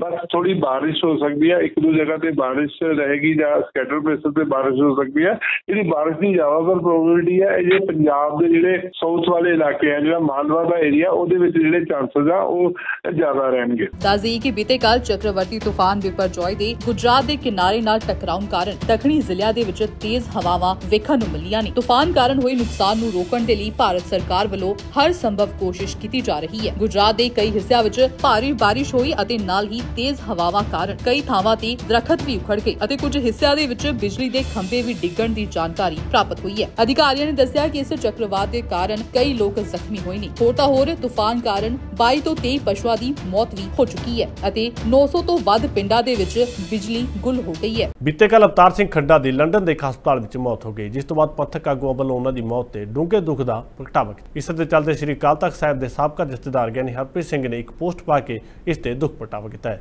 ਯੂਕੇ ਦੇ ਬਰਤਾਨੀਆ ਵਿੱਚ ਖਾਲਿਸਤਾਨੀ ਲਿਬਰੇਸ਼ਨ ਫੋਰਸ ਦੇ ਮੁਖੀ ਅਤੇ ਅੰਮ੍ਰਿਤਪਾਲ ਸਿੰਘ ਦੇ ਮੁੱਖ ਹੈਂਡਲਰ ਦੱਸੇ ਜਾਂਦੇ ਅਵਤਾਰ ਸਿੰਘ ਖੰਡਾ ਦੀ ਲੰਡਨ ਦੇ ਇੱਕ ਹਸਪਤਾਲ ਵਿੱਚ ਬੀਤੇ ਕੱਲ ਮੌਤ ਹੋ ਗਈ ਸੀ, ਜਿਸ ਤੇ ਹੁਣ ਪੰਥਕ ਆਗੂਆਂ ਦੇ ਵੱਲੋਂ ਡੂੰਘੇ ਸੋਗ ਦਾ ਪ੍ਰਗਟਾਵਾ ਕੀਤਾ ਜਾ ਰਿਹਾ ਹੈ। ਸਾਹਿਬ ਦੇ ਜਥੇਦਾਰ ਗਿਆਨੀ ਹਰਪ੍ਰੀਤ ਸਿੰਘ ਵੱਲੋਂ ਅਵਤਾਰ ਸਿੰਘ ਖੰਡਾ ਦੀ ਹੋਈ ਅਚਾਨਕ ਮੌਤ ਤੇ ਡੂੰਘੇ ਸੋਗ ਦਾ ਪ੍ਰਗਟਾਵਾ ਕੀਤਾ ਗਿਆ। ਇੱਕ ਪੋਸਟ ਸਾਂਝੀ ਕਰਦਿਆਂ ਗਿਆਨੀ ਹਰਪ੍ਰੀਤ ਸਿੰਘ ਨੇ ਲਿਖਿਆ ਯੂਕੇ ਦੇ ਸਿੱਖ ਨੌਜਵਾਨ ਭਾਈ ਅਵਤਾਰ ਸਿੰਘ ਖੰਡਾ ਦੇ ਅਚਾਨਕ ਬੇਵਕਤੀ ਚਲਾਣੇ ਦੀ ਖਬਰ ਦੁਖਦਾਈ ਹੈ। ਕੋਈ ਇਸ ਨੌਜਵਾਨ ਬਾਰੇ ਕੁਝ ਵੀ ਸੋਚੇ, ਕੋਈ ਵੱਖਵਾਦੀ ਦਾ ਤਖੱਲਸ ਦੇਵੇ, ਪਰ ਸਾਡੇ ਲਈ ਇਸ ਅੰਮ੍ਰਿਤਧਾਰੀ ਨੌਜਵਾਨ ਦਾ ਅਚਾਨਕ ਚਲਾਣਾ ਅਸਹਿ ਹੈ। ਵਾਹਿਗੁਰੂ ਇਸ ਨੂੰ ਆਪਣੇ ਚਰਨਾਂ ਵਿੱਚ ਨਿਵਾਸ ਬਖਸ਼ੇ ਅਤੇ ਪਰਿਵਾਰ ਨੂੰ ਭਾਣਾ ਮੰਨਣ ਦਾ ਬਲ ਬਖਸ਼ੇ। ਉਥੇ ਦੂਜੇ ਪਾਸੇ ਸ਼੍ਰੋਮਣੀ ਅਕਾਲੀ ਦਲ ਅੰਮ੍ਰਿਤਸਰ ਦੇ ਪ੍ਰਧਾਨ ਅਤੇ ਸੰਗਰੂਰ ਤੋਂ ਲੋਕ ਸਭਾ ਮੈਂਬਰ ਸਿਮਰਨਜੀਤ ਸਿੰਘ ਮਾਨ ਨੇ ਵੀ ਅਵਤਾਰ ਸਿੰਘ ਖੰਡਾ ਦੀ ਅਚਾਨਕ ਹੋਈ ਮੌਤ ਤੇ ਦੁੱਖ ਦਾ ਪ੍ਰਗਟਾਵਾ ਕੀਤਾ ਅਤੇ ਕਈ ਸਾਰੇ ਸਵਾਲ ਵੀ ਖੜੇ ਕੀਤੇ ਨੇ। ਪੋਸਟਰ ਜਾਰੀ ਕਰਦਿਆਂ ਐਮਪੀ ਸਿਮਰਨਜੀਤ ਸਿੰਘ ਮਾਨ ਨੇ ਲਿਖਿਆ, ਇਹ ਖਬਰ ਸੁਣ ਕੇ ਬੜਾ ਦੁੱਖ ਲੱਗਿਆ ਕਿ ਅਵਤਾਰ ਸਿੰਘ ਖੰਡਾ ਇਸ ਦੁਨੀਆ ਤੇ ਨਹੀਂ ਰਹੀ। ਅਵਤਾਰ ਸਿੰਘ ਖੰਡਾ ਦਾ ਇਸ ਤਰ੍ਹਾਂ ਇਸ ਸੰਸਾਰ ਤੋਂ ਚਲੇ ਜਾਣਾ ਸਾਡੀ ਪਾਰਟੀ ਅਤੇ ਸਮੁੱਚੇ ਖਾਲਸਾ ਪੰਥ ਲਈ ਇੱਕ ਵੱਡਾ ਘਾਟਾ ਹੈ। ਸਿੱਖ ਸੰਘਰਸ਼ ਵਿੱਚ ਉਹਨਾਂ ਨੇ ਆਪਣਾ ਅਹਿਮ ਯੋਗਦਾਨ ਦਿੱਤਾ ਇਸ ਦੇ ਨਾਲ ਹੀ ਐਮਪੀ ਮਾਨ ਨੇ ਵੀ ਖੁਲਾਸਾ ਕੀਤਾ ਕਿ ਅਵਤਾਰ ਸਿੰਘ ਖੰਡਾ 2011 ਤੋਂ ਇੰਗਲੈਂਡ ਵਿੱਚ ਰਹਿ ਰਹੀ ਸੀ ਅਤੇ ਕੋਈ ਬਲੱਡ ਕੈਂਸਰ ਦੀ ਹਿਸਟਰੀ ਨਹੀਂ ਸੀ, ਕਿਉਂਕਿ ਇਹ ਚਰਚਾਵਾਂ ਚੱਲ ਰਹੀਆਂ ਸੀ। ਬੀਤੇ ਕੱਲ ਕਿ ਅਵਤਾਰ ਸਿੰਘ ਖੰਡਾ ਨੂੰ ਬਲੱਡ ਕੈਂਸਰ ਸੀ ਅਤੇ ਕੈਂਸਰ ਕਾਰਨ ਪੂਰੇ ਸਰੀਰ ਦੇ ਵਿੱਚ ਜ਼ਹਿਰ ਫੈਲ ਗਿਆ, ਜਿਸ ਕਾਰਨ ਉਹਨਾਂ ਦੀ ਮੌਤ ਹੋ ਗਈ। ਇਸ ਦੌਰਾਨ ਐਮਪੀ ਮਾਨ ਨੇ ਮੰਗ ਕੀਤੀ ਹੈ ਕਿ ਪਿਛਲੇ ਦਿਨੀ ਚਰਚਾ ਵਿੱਚ ਰਹਿਣ ਵਾਲੇ ਅਵਤਾਰ ਸਿੰਘ ਖੰਡਾ ਦੇ ਇਸ ਤਰ੍ਹਾਂ ਸ਼ੱਕੀ ਹਾਲਾਤਾਂ ਵਿੱਚ ਚਲੇ ਜਾਣ ਤੇ ਬਰਤਾਨੀਆ ਸਰਕਾਰ ਨੂੰ ਇਸ ਦੀ ਜਾਂਚ ਕਰਨੀ ਚਾਹੀਦੀ ਹੈ, ਕਿਉਂਕਿ ਸਿੱਖ ਨੌਜਵਾਨੀ ਦਾ ਘਾਣ ਕੀਤਾ ਜਾ ਰਿਹਾ ਹੈ। ਉਹਨਾਂ ਸਵਾਲ ਕੀਤਾ ਕਿ ਦੀਪ ਸਿੱਧੂ ਸਿੱਧੂ ਮੂਸੇਵਾਲਾ ਵਾਂਗ ਅਵਤਾਰ ਸਿੰਘ ਖੰਡਾ ਨੂੰ ਵੀ ਕਿਤੇ ਕਿਸੇ ਸਾਜ਼ਿਸ਼ ਦਾ ਸ਼ਿਕਾਰ ਤਾਂ ਨਹੀਂ ਬਣਾਇਆ ਗਿਆ? ਇਸ ਦੇ ਨਾਲ ਹੀ ਐਮਪੀ ਸਿਮਰਨਜੀਤ ਸਿੰਘ ਮਾਨ ਨੇ ਅਵਤਾਰ ਸਿੰਘ ਖੰਡਾ ਦੀ ਹਸਪਤਾਲ ਵਿੱਚ ਭੇਤ ਭਰੇ ਹਾਲਾਤਾਂ ਨਾਲ ਹੋਈ ਮੌਤ ਤੇ ਇਸ ਦੀ ਕੌਮਾਂਤਰੀ ਪੱਧਰ ਤੇ ਜਾਂਚ ਕਰਨ ਦੀ ਮੰਗ ਕੀਤੀ ਹੈ। ਉਹਨਾਂ ਕਿਹਾ ਕਿ ਅਵਤਾਰ ਸਿੰਘ ਖੰਡਾ ਦੀ ਦੁਖਦਾਈ ਮੌਤ ਦੀ ਕੌਮਾਂਤਰੀ ਪੱਧਰ ਦੀਆਂ ਨਿਰਪੱਖ ਏਜੰਸੀਆਂ ਜਾਂ ਫਿਰ ਯੂਐਨ ਤੋਂ ਸੀਮਿਤ ਸਮੇਂ ਵਿੱਚ ਜਾਂਚ ਕਰਵਾਉਣ ਦੀ ਜ਼ੋਰਦਾਰ ਮੰਗ ਕਰਦੀਆਂ। ਨਾਲ ਹੀ ਐਮਪੀ ਮਾਨ ਨੇ ਇਹ ਵੀ ਇਲਜ਼ਾਮ ਲਗਾਏ ਨੇ ਕਿ ਅਵਤਾਰ ਸਿੰਘ ਖੰਡਾ ਅੰਮ੍ਰਿਤਪਾਲ ਸਿੰਘ ਦੇ ਸੰਪਰਕ ਵਿੱਚ ਸਨ। ਇਹੀ ਵਜ੍ਹਾ ਹੋ ਸਕਦੀ ਹੈ ਕਿ ਖੰਡਾ ਨੂੰ ਮੌਤ ਦੇ ਮੂੰਹ ਵਿੱਚ ਸਾਜ਼ਿਸ਼ੀ ਢੰਗ ਦੇ ਨਾਲ ਧਕੇਲ ਦਿੱਤਾ ਗਿਆ ਹੋਵੇ। ਉਹਨਾਂ ਕਿਹਾ ਕਿ ਸ਼੍ਰੋਮਣੀ ਅਕਾਲੀ ਦਲ ਅੰਮ੍ਰਿਤਸਰ ਇਹ ਜ਼ੋਰਦਾਰ ਮੰਗ ਕਰਦਾ ਹੈ ਕਿ ਅਵਤਾਰ ਸਿੰਘ ਖੰਡਾ ਦੀ ਜੋ ਸ਼ੱਕੀ ਹਾਲਾਤਾਂ ਵਿੱਚ ਮੌਤ ਹੋਈ ਹੈ, ਉਸ ਦੇ ਨਿਰਪੱਖਤਾ ਨਾਲ ਜਾਂਚ ਹੋਣੀ ਚਾਹੀਦੀ ਹੈ। ਇੱਥੇ ਦੱਸਣਯੋਗ ਹੈ ਕਿ ਅਵਤਾਰ ਸਿੰਘ ਖੰਡਾ ਤੇ ਲੰਡਨ ਵਿੱਚ ਭਾਰਤੀ ਹਾਈ ਕਮਿਸ਼ਨ ਵਿੱਚ ਤਿਰੰਗੇ ਤੇ ਹੋਏ ਹਮਲੇ ਸਮੇਤ ਭਾਰਤ ਵਿਰੋਧੀ ਗਤੀਵਿਧੀਆਂ ਵਿੱਚ ਸ਼ਾਮਲ ਹੋਣ ਦੇ ਦੋਸ਼ ਲੱਗੇ ਨੇ, ਪਰ ਉਸਨੇ ਆਪਣੇ ਤੇ ਲੱਗੇ ਸਾਰੇ ਦੋਸ਼ਾਂ ਨੂੰ ਨਕਾਰ ਦਿੱਤਾ ਸੀ। ਖਬਰ ਜਲੰਧਰ ਦੇ ਭੋਗਪੁਰ ਤੋਂ ਸਾਹਮਣੇ ਆ ਰਹੀ ਹੈ, ਜਿੱਥੇ ਗੁਰਦੁਆਰਾ ਸਾਹਿਬ ਦੇ ਲੰਗਰ ਹਾਲ ਵਿੱਚ ਗੁਰਦੁਆਰਾ ਸਾਹਿਬ ਦੇ ਹੈੱਡ ਗ੍ਰੰਥੀ ਤੇ ਕਮੇਟੀ ਮੈਂਬਰਾਂ ਦੀ ਆਪਸ ਵਿੱਚ ਝੜਪ ਹੋ ਗਈ।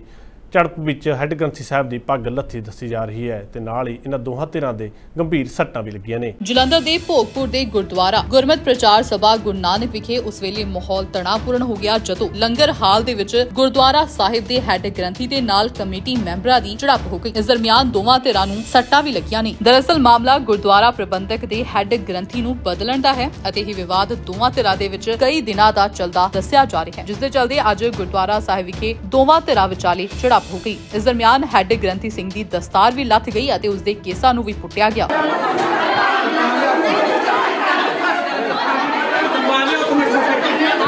ਇਸ ਮੌਕੇ ਸਾਡੇ ਗ੍ਰੰਥੀ ਗੁਰਪ੍ਰੀਤ ਸਿੰਘ ਨੇ ਦੂਜੇ ਧਿਰ ਤੇ ਇਲਜ਼ਾਮ ਲਗਾਉਂਦੇ ਹੋਏ ਕਿਹਾ ਕਿ ਲੰਗਰ ਹਾਲ ਦੇ ਵਿੱਚ ਉਹਨਾਂ ਨੂੰ ਕੁੱਟਿਆ ਗਿਆ ਅਤੇ ਕੇਸਾਂ ਦੇ ਨਾਲ-ਨਾਲ ਦਸਤਾਰ ਦੀ ਬੇਅਦਬੀ ਵੀ ਕੀਤੀ ਗਈ ਹੈ। ਗੁਰਦੁਆਰਾ ਗੁਰਮਤ ਪ੍ਰਚਾਰ ਸਭਾ ਭੋਗਪੁਰ ਵਿਖੇ ਗ੍ਰੰਥੀ ਸਿੰਘ ਦੀ ਡਿਊਟੀ ਨਿਭਾ ਰਿਹਾ ਜਿੱਥੇ ਕਿ 2 ਸਾਲ ਮੈਨੂੰ ਹੋ ਗਏ ਨੇ ਤੇ ਅੱਜ ਕੁਝ ਸ਼ਰਾਰਤੀ ਅਨਸਰਾਂ ਵੱਲੋਂ ਜਦੋਂ ਮੈਂ ਤਨਖਾਹ ਮੰਗੀ 2 ਮਹੀਨੇ ਹੋ ਗਏ ਮੈਨੂੰ ਤਨਖਾਹ ਨਹੀਂ ਦਿੱਤੀ ਗਈ। ਕੁਝ ਸ਼ਰਾਰਤੀ ਅਨਸਰਾਂ ਵੱਲੋਂ ਅੱਜ ਮੇਰੇ ਤੇ ਹਮਲਾ ਕੀਤਾ ਗਿਆ। ਤਨਖਾਹ ਦੇ ਮੁੱਦੇ ਨੂੰ ਮੁੱਖ ਰੱਖਦਿਆਂ ਹਾਂ ਜਦੋਂ ਪੁੱਛਿਆ, ਕੁਝ ਸ਼ਰਾਰਤੀ ਅਨਸਰਾਂ ਵੱਲੋਂ ਮੇਰੇ ਤੇ ਤੇਜ਼ਧਾਰ ਹਥਿਆਰ, ਮੇਰੇ ਕੇਸ ਪੁੱਟੇ ਗਏ, ਮੇਰੇ ਲੱਕ ਦੇ ਵਿੱਚ ਗੁੱਝੀਆਂ ਸੱਟਾਂ ਮਾਰੀਆਂ ਗਈਆਂ। ਇਹ ਜਦੋਂ ਮੈਂ ਆਪਣੀ ਪੱਗ ਮੇਰੀ ਉਤਾਰੀ ਗਈ, ਤਾਂ ਇਹ ਨਹੀਂ ਪਤਾ ਕਿੰਨੇ ਕਿੰਨੇ ਮਾਰੀਆਂ, ਕਿਹੜਾ ਕਿਹੜਾ ਤੇਜ਼ਧਾਰ ਹਥਿਆਰ ਮਾਰ ਗਿਆ, ਜਿਸ ਕਾਰਨ ਮੇਰੇ ਆ ਬਹੁਤ ਜ਼ਿਆਦਾ ਟੈਂਕੇ ਲੱਗੇ ਆ ਬਾਂਹ ਤੇ। ਤੇ ਸਖਤ ਤੋਂ ਸਖਤ ਇਹਨਾਂ ਤੇ ਕਾਰਵਾਈ ਹੋਣੀ ਚਾਹੀਦੀ ਹੈ। ਭਾਈ ਸਾਹਿਬ, ਭਾਈ ਦਲਵੀਰ ਸਿੰਘ, ਭਾਈ ਗੁਰਦੀਪ ਸਿੰਘ, ਭਾਈ ਸਿਮਰਨਾਥ ਸਿੰਘ, ਭਾਈ ਹੰਸਰਾਜ, ਭਾਈ ਤਰਲੋਚਨ ਸਿੰਘ, ਬੀਬੀ ਬੇਅੰਤ ਕੌਰ ਤੇ ਬੀਬੀ ਮਨਪ੍ਰੀਤ ਕੌਰ ਤੇ ਭਾਈ ਮਹਿੰਦਰ ਸਿੰਘ ਕਲੋਨੀ ਵਾਲੇ। ਇਹ ਸਾਰੇ ਹੀ ਜਿਹੜੇ ਨੇ, ਇਹ ਅੱਜ ਤੋਂ ਕੁਝ ਸਾਲ ਪਹਿਲਾਂ ਮੇਰੇ ਨਾਲ ਖੁੰਝਕ ਰੱਖ ਰਹੇ ਨੇ। ਕਿਉਂਕਿ ਖੁੰਝਕ ਰੱਖਣ ਦਾ ਜਿਹੜਾ ਇਹ ਹੈਗਾ, ਜਿਹੜਾ ਡਿਸੀਜਨ ਹੈ, ਇਹ ਭਾਈ ਦਲਵੀਰ ਸਿੰਘ ਦੀ ਗੋਲਕ ਚੋਂ ਚੋਰੀ ਕਰਦਿਆਂ ਜਿਹੜਾ ਮੁੱਦਾ ਫੜਿਆ ਗਿਆ ਸੀ ਉਦੋਂ ਦੀ ਇਹ ਨਾਲ ਖੁੰਝਕ ਰੱਖਦੇ ਰਹੇ ਨੇ। ਉੱਥੇ ਦੂਜੇ ਪਾਸੇ ਦੂਜੀ ਧਿਰ ਦੇ ਜ਼ਖਮੀ ਹੰਸਰਾਜ ਨੇ ਦੱਸਿਆ ਕਿ ਅੱਜ ਜਦੋਂ ਪਿਛਲੇ ਮਹੀਨੇ ਦਾ ਹਿਸਾਬ ਗ੍ਰੰਥੀ ਸਿੰਘ ਤੋਂ ਮੰਗਿਆ ਗਿਆ ਤਾਂ ਉਹਨਾਂ ਨੇ ਨਹੀਂ ਦਿੱਤਾ ਅਤੇ ਗ੍ਰੰਥੀ ਸਿੰਘ ਵੱਲੋਂ ਸਾਡੇ ਨਾਲ ਕੁੱਟਮਾਰ ਕਰਨੀ ਸ਼ੁਰੂ ਕਰ ਦਿੱਤੀ ਗਈ। ਬਾਹਰ ਦਾ ਸਰ ਸਾਡੇ ਕਮੇਟੀ ਮੈਂਬਰਾਂ ਨਾਲ ਸਾਡੀ ਕੋਈ ਰੰਜਿਸ਼ ਨਹੀਂ ਹੋ। ਰੰਜਿਸ਼ ਸਿਰਫ ਗਿਆਨੀ ਜੋ ਜਿਹੜਾ ਗ੍ਰੰਥੀ ਆ ਸਾਡੇ ਨਾਲ ਦੁਰ- ਦੁਰਵਿਵਹਾਰ ਕਰਦਾ ਸਾਡੇ ਨੂੰ ਜਿਹੜੀ ਹੈਗੀ ਆ ਕਮੇਟੀ ਮੈਂਬਰਾਂ ਨਾਲ ਬੁਰਾ ਭਲਾ ਬੋਲਦਾ ਆ। ਉਹ ਲਲਕਾਰੇ ਮਾਰਦਾ ਵੀ ਮੇਰਾ ਕੁਝ ਨਹੀਂ ਵਿਗਾੜ ਸਕਦਾ। ਔਰ ਮੈਂ ਸ- ਗੁਰਦੁਆਰਾ ਸਾਹਿਬ ਦਾ ਜਿਹੜਾ ਹੈਗਾ ਮੈਂਬਰ ਆ ਕਮੇਟੀ ਦਾ, ਰਜਿਸਟਰਡ ਦਾ। ਤੇ ਜਿਹਦੇ ਵਿੱਚੋਂ ਮੈਂ ਸਵੇਰੇ ਮੈਨੂੰ ਕਮੇਟੀ ਮੈਂਬਰਾਂ ਨੇ ਕਿਹਾ ਵੀ ਪਿਛਲੇ ਮਹੀਨੇ ਦਾ ਹਿਸਾਬ ਕਿਤਾਬ ਤੁਸੀਂ ਸੰਗਤ ਨੂੰ ਬੋਲ ਕੇ ਦੱਸੋ। ਮੈਂ ਬੋਲ ਕੇ, ਬੋਲਣ ਲੱਗਾ, ਪਰ ਇਹ- ਇਹਨਾਂ ਨੇ ਜਲਦੀ ਜਲਦੀ ਪ੍ਰਸ਼ਾਦ ਲੈ ਕੇ ਥੱਲੇ ਸਾਰੀ ਸੰਗਤ ਚੱਲ ਗਈ। ਜਿਉਂ ਹੀ ਥੱਲੇ ਚੱਲ ਗਏ, ਅਸੀਂ ਪੰਜ ਛੇ ਮੈਂਬਰ ਤਾਂ ਉੱਪਰ ਰਹਿ ਗਏ। ਤੇ ਜੇ ਲਾ ਮੈਂ ਬਾਹਰ ਨੂੰ ਨਿਕਲਿਆ ਤਾਂ ਮੈਂ ਜਦ ਦੇਖਿਆ ਇਹਨਾਂ ਨੂੰ ਤਾਂ ਇਹ ਥੱਲੇ ਲਲਕਾਰੇ ਮਾਰਨ ਡਏ, ਉਹ ਤਾਂ ਗਾਲਾਂ ਕੱਢਣ ਡਏ ਵੀ ਆਓ ਥੱਲੇ ਤੁਹਾਨੂੰ ਬੰਦੇ ਦਾ ਪੁੱਤ ਬਣਾਈਏ। ਟੈਗ ਉਹਨਾਂ ਨੇ ਕੀਤਾ, ਮੈਂ ਉਸ ਤੋਂ ਬਾਅਦ ਅਸੀਂ ਇਕੱਲੇ ਇਕੱਲੇ ਆਏ, ਜਿੱਦਾਂ ਇਕੱਲੇ ਇਕੱਲੇ ਆਏ ਆ ਭਾਈ ਗ੍ਰੰਥੀ ਨੇ ਮੈਨੂੰ ਕਿਹਾ ਕਿ ਤੁਸੀਂ ਮੈਨੂੰ ਕਿਹੜੀ ਤਨਖਾਹ ਦਿੱਤੀ ਹੈ, ਤਾਂ ਮੈਂ ਉਹਨਾਂ ਨੂੰ ਇਹ ਕਿਹਾ ਵੀ ਤਨਖਾਹ ਦਾ ਤੁਹਾਨੂੰ ਤੁਸੀਂ ਹਿਸਾਬ ਨਹੀਂ ਦਿੱਤਾ। ਉਹ ਕਹਿੰਦੇ ਜੀ ਹਿਸਾਬ ਥਾ ਫਲਾਂ ਨੇ ਦਿੱਤਾ। ਉਹ ਤੋਂ ਇਹਨਾਂ ਨੇ ਮੈਨੂੰ ਧੱਕੇ ਮਾਰਨੇ ਸ਼ੁਰੂ ਕਰ ਦਿੱਤੇ ਤੇ ਇਹ ਸਾਰੇ ਜਣੇ ਇਕੱਠੇ ਹੋ ਕੇ ਜਿਹੜੇ ਅਟੈਕ ਕੀਤਾ ਤੇ ਮੇਰੇ ਜਿਹੜੇ ਨਾਲ ਦੇ ਸਹਿਯੋਗੀ ਬੰਦੇ ਸੀਗੇ ਉਹਨਾਂ ਨੂੰ ਮੈਨੂੰ ਮਦਦ ਕੀਤੀ ਤਾਂ ਇਹਨਾਂ ਨੇ ਭਾਈ ਨੇ ਜਿਹੜੀ ਹੈ ਸ੍ਰੀ ਸਾਹਿਬ ਕੱਢ ਕੇ ਮੇਰੀ ਸਿਰ ਦੇ ਵਿੱਚ ਮਾਰੀ ਆ। ਫਿਲਹਾਲ ਦੋਵਾਂ ਧਿਰਾਂ ਦੇ ਵੱਲੋਂ ਇੱਕ ਦੂਜੇ ਖਿਲਾਫ ਕਾਰਵਾਈ ਦੀ ਮੰਗ ਕੀਤੀ ਜਾ ਰਹੀ ਹੈ ਅਤੇ ਕਮੇਟੀ ਮੈਂਬਰਾਂ ਵੱਲੋਂ ਗ੍ਰੰਥੀ ਸਿੰਘ ਨੂੰ ਬਦਲਣ ਦੀ ਮੰਗ ਵੀ ਕੀਤੀ ਜਾ ਰਹੀ ਹੈ। ਪੰਜਾਬ ਵਿੱਚ ਰੋਜ਼ਾਨਾ ਹੀ ਲੁੱਟ ਤੇ ਕਤਲ ਦੀਆਂ ਘਟਨਾਵਾਂ ਦੇਖਣ ਨੂੰ ਮਿਲ ਰਹੀਆਂ ਨੇ। ਇਸੇ ਦੇ ਚੱਲਦੇ ਪਾਣੀ ਦੀ ਛਬੀਲ ਤੇ ਇੱਕ ਹੋਈ ਛੋਟੀ ਜਿਹੀ ਤਕਰਾਰ ਨੇ ਖੂਨੀ ਰੂਪ ਧਾਰਨ ਕਰ ਲਿਆ। ਤੁਹਾਨੂੰ ਦੱਸ ਦਈਏ ਕਿ ਕੁਝ ਨੌਜਵਾਨਾਂ ਨੇ ਲੁਧਿਆਣਾ ਦੇ ਰਹਿਣ ਵਾਲੇ ਇੱਕ ਨਿਹੰਗ ਸਿੰਘ ਨੂੰ ਇਸ ਛੋਟੀ ਜਿਹੀ ਤਕਰਾਰ ਪਿੱਛੇ ਮੌਤ ਦੇ ਘਾਟ ਉਤਾਰ ਦਿੱਤਾ। ਰੋਂਦੇ ਕੁਰਲਾਉਂਦੇ ਦੀਆਂ ਇਹ ਤਸਵੀਰਾਂ ਲੁਧਿਆਣਾ ਦੀਆਂ ਨੇ, ਜਿੱਥੇ ਪਾਣੀ ਦੀ ਸ਼ਬੀਲ ਵਿੱਚ ਹੋਈ ਕਾਨੂੰਨੀ ਤਕਰਾਰ ਨੇ ਖੂਨੀ ਰੂਪ ਧਾਰ ਲਿਆ ਲੁਧਿਆਣਾ ਦੇ ਰਹਿਣ ਵਾਲੇ ਨਿਹੰਗ ਬਲਦੇਵ ਸਿੰਘ ਨੂੰ ਮੌਤ ਦੇ ਘਾਟ ਉਤਾਰ ਦਿੱਤਾ ਗਿਆ। ਦਰਅਸਲ, ਬੁੱਧਵਾਰ ਨੂੰ ਨਿਹੰਗ ਬਲਦੇਵ ਸਿੰਘ ਨੇ ਆਪਣੇ ਸਾਥੀਆਂ ਨਾਲ ਮਿਲ ਕੇ ਮਿੱਠੇ ਪਾਣੀ ਦੀ ਸ਼ਬੀਲ ਲਗਾਈ ਹੋਈ ਸੀ। ਤਾਂ ਇਸ ਦੌਰਾਨ ਬਾਹਰੋਂ ਆਏ ਕੁਝ ਨੌਜਵਾਨਾਂ ਨਾਲ ਨਿਹੰਗ ਬਲਦੇਵ ਸਿੰਘ ਅਤੇ ਉਸਦੇ ਦੋਸਤਾਂ ਦੀ ਆਪਸ ਵਿੱਚ ਮਾਮੂਲੀ ਬਹਿਸ ਹੋ ਗਈ ਸੀ। ਇਸ ਦੌਰਾਨ ਸ਼ਬੀਲ ਦੇ ਵਿੱਚ ਮੌਜੂਦ ਲੋਕਾਂ ਨੇ ਮਾਮਲੇ ਨੂੰ ਠੰਡਾ ਕਰਕੇ ਨੌਜਵਾਨਾਂ ਨੂੰ ਉੱਥੋਂ ਭੇਜ ਦਿੱਤਾ। ਪਰ ਜਦੋਂ ਬਲਦੇਵ ਸਿੰਘ ਆਪਣੇ ਕੰਮ ਤੋਂ ਵਾਪਸ ਘਰ ਆ ਰਿਹਾ ਸੀ, ਤਾਂ ਰਸਤੇ ਵਿੱਚ ਮੋਟਰਸਾਈਕਲ ਤੇ ਸਵਾਰ ਹੋ ਕੇ ਦੋ ਨੌਜਵਾਨ ਆਏ ਅਤੇ ਉਹਨਾਂ ਨੇ ਨਿਹੰਗ ਸਿੰਘ ਦਾ ਤੇਜ਼ਧਾਰ ਹਥਿਆਰਾਂ ਦੇ ਨਾਲ ਕਤਲ ਕਰ ਦਿੱਤਾ। ਇੰਨਾ ਹੀ ਨਹੀਂ ਜਾਂਦੇ ਜਾਂਦੇ ਇਹਨਾਂ ਨੌਜਵਾਨਾਂ ਨੇ ਲਾਸ਼ ਨੇੜੇ ਖੜ ਕੇ ਲਲਕਾਰੇ ਵੀ ਮਾਰੇ ਸੀ। ਪਤਾ ਹੀ ਨਹੀਂ ਸਾਨੂੰ ਤਾਂ ਘਰੋਂ ਭੱਜੇ ਆਏ ਆ ਕਿਸੇ ਨੇ ਦੱਸਿਆ ਜਾ ਕੇ ਤਾਂ ਆਏ ਆ ਪਤਾ ਨਹੀਂ ਚੰਗਾ ਭਲੇ ਕੰਮ ਤੋਂ ਆਇਆ, ਕੰਮ ਤੋਂ ਤਿੰਨੇ ਪਿਓ ਪੁੱਤ ਗਏ ਨੇ, ਕੰਮ ਤੋਂ ਆ ਕੇ ਦਵਾਈ ਲੈਣ ਗਿਆ ਬਸ। ਲੜਾਈ ਲੜਾਈ ਪਰ ਇੱਧਰ ਬਾਲਮੀ ਕਹਿੰਦਾ ਮੁੰਡੇ ਨਾਲ ਲੜਾਈ। ਇਹ ਪਰਸੋਂ ਇਹਨੇ ਛਪੀਲ ਲਾਈ ਸੀ ਤੇ ਉਦੋਂ ਉਹ ਆਇਆ ਸੀ ਮੁੰਡਾ। ਤੇ ਉਹਨੇ ਨੇ ਭਜਾਇਆ ਤੇ ਉਹ ਉਹ ਅੱਗੋਂ ਬੋਲਣ ਲੱਗ ਪਿਆ ਇਹਨੇ ਫਿਰ ਡਾਂਗ ਮਾਰੀ। ਆਹ ਗੱਲ ਸੀ ਬਸ। ਹੋਰ? ਉਹ ਤਾਂ ਗੜ- ਸਾਡੇ ਕੋਲ ਬਲੈਰੋ ਗੱਡੀ ਆ। ਤਿੰਨੇ ਪਿਓ ਪੁੱਤ ਜਾਂਦੇ। ਪਹਿਲਾਂ ਬਾਹਰ ਕੰਮ ਕਰਦਾ ਹੀ ਹੁਣ ਨਾਲ ਹੀ ਜਾਂਦਾ ਸੀ। ਇਹ ਬਲਦੇਵ ਸਿੰਘ ਹੈ 30 ਸਾਲ ਦਾ। ਇਹਦੇ 'ਚ ਜੋ ਹੁਣ ਹਾਲ ਤੱਕ ਪਤਾ ਲੱਗਿਆ ਵੀ ਦੋ ਮੁੰਡੇ ਆਏ ਆ। ਜੋ ਸੀਸੀ ਫੁਟੇਜ ਚ ਮਿਲਿਆ ਉਹਨਾਂ ਨੇ ਇੱਥੇ ਮਾਰ ਕੇ ਦਾਤ ਦੂਤ ਮਾਰ ਕੇ ਸਿਰ 'ਚ ਜ਼ਿਆਦਾ ਸੁੱਟਾ ਜਿਹਦੇ ਨਾਲ ਇਹਦਾ ਇਹਨੂੰ ਮਾਰਤਾ। ਇਹ ਹੁਣ ਇੱਥੇ ਪੌਣੇ ਘੰਟੇ ਤੋਂ ਪਹਿਲੇ। ਰਿਕਾਰਡਿੰਗ ਆਈ ਹੈ ਪਰ ਕਲੀਅਰ ਨਹੀਂ ਹੋ ਰਿਹਾ। ਦੋ ਹਿੰਦੂ ਜੈਂਟਲਮੈਨ ਬੰਦੇ ਆ ਰਹੇ, ਦੋ ਜਿਹੜੇ ਮਾਰ ਕੇ ਗਏ ਇਹਦਾ ਨਾਮ ਬਲਦੇਵ ਸਿੰਘ ਹੈ ਗਿੱਲ ਕਲੋਨੀ ਹੈ ਗਲੀ ਨੰਬਰ 2 ਦੱਸਣਯੋਗ ਹੈ ਕਿ ਜਦੋਂ ਲਲਕਾਰੇ ਦੀਆਂ ਆਵਾਜ਼ਾਂ ਸੁਣ ਕੇ ਲੋਕ ਇਕੱਠੇ ਹੋਏ ਤਾਂ ਨਿਹੰਗ ਬਲਦੇਵ ਸਿੰਘ ਦੀ ਲਾਸ਼ ਖੂਨ ਨਾਲ ਲਥਪਥ ਹੋਈ ਭਿੱਜੀ ਵੇਖੀ ਗਈ। ਤਾਂ ਫਿਰ ਲੋਕਾਂ ਨੇ ਪੁਲਿਸ ਨੂੰ ਸੂਚਨਾ ਦਿੱਤੀ ਫਿਲਹਾਲ ਪੁਲਿਸ ਮਾਮਲੇ ਦੀ ਜਾਂਚ ਕਰ ਰਹੀ ਹੈ ਅਤੇ ਘਟਨਾ ਵਾਲੀ ਥਾਂ ਦੇ ਨੇੜੇ ਲੱਗੇ ਸੀਸੀਟੀਵੀ ਕੈਮਰੇ ਖੰਗਾਲੇ ਜਾ ਰਹੇ ਨੇ। ਜਾਂਦਿਆਂ ਦੇ ਇੱਕ ਵਾਰ ਫਿਰ ਨਜ਼ਰ ਮਾਰਦੇ ਹਾਂ ਅੱਜ ਦੀਆਂ ਮੁੱਖ ਸੁਰਖੀਆਂ ਤੇ। ਸ੍ਰੀ ਅਕਾਲ ਤਖਤ ਸਾਹਿਬ ਦੇ ਬਦਲੇ ਗਏ ਜਥੇਦਾਰ ਗਿਆਨੀ ਹਰਪ੍ਰੀਤ ਸਿੰਘ ਦੀ ਜਗ੍ਹਾ ਗਿਆਨੀ ਰਗਵੀਰ ਸਿੰਘ ਬਣੇ ਨਵੇਂ ਜਥੇਦਾਰ ਗਿਆਨੀ ਹਰਪ੍ਰੀਤ ਸਿੰਘ ਨੂੰ ਅਹੁਦੇ ਤੋਂ ਹਟਾਉਣ ਦਾ ਗਰਮਾਇਆ ਮੁੱਦਾ। ਪੰਥਕ ਆਗੂਆਂ ਨੇ ਚੁੱਕੇ ਸਵਾਲ। ਮਰਨ ਵਰਤ ਤੇ ਬੈਠੇ ਕਿਸਾਨਾਂ ਦੀ ਸਰਕਾਰ ਨਾਲ ਬਣੀ ਸਹਿਮਤੀ। ਨਾਰੀਅਲ ਪਾਣੀ ਪੀ ਕੇ ਖਤਮ ਕੀਤੀ ਭੁੱਖ ਹੜਤਾਲ। ਅਵਤਾਰ ਸਿੰਘ ਖੰਡਾ ਦੀ ਮੌਤ ਤੇ ਪੰਥਕ ਆਗੂਆਂ ਨੇ ਜਤਾਇਆ ਦੁੱਖ। ਐਮਪੀ ਮਾਨ ਨੇ ਖੰਡਾ ਦੀ ਮੌਤ ਨੂੰ ਸਾਜ਼ਿਸ਼ ਕਰਾਰਿਆ। ਅੱਜ ਦੇ ਪੰਜਾਬ ਬੁਲੇਟਿਨ ਵਿੱਚ ਇੰਨਾ ਹੀ। ਨਵੇਂ ਤੇ ਤਾਜ਼ਾ ਖਬਰਾਂ ਨਾਲ ਕੱਲ ਫਿਰ ਹਾਜ਼ਰ ਹੋਵਾਂਗੇ। ਧੰਨਵਾਦ।